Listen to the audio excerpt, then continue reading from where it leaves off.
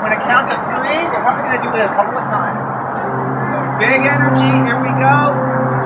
Three, two, one. Good. One more time, even bigger. You guys can raise your hands up like this, like I don't know. All right, here we go.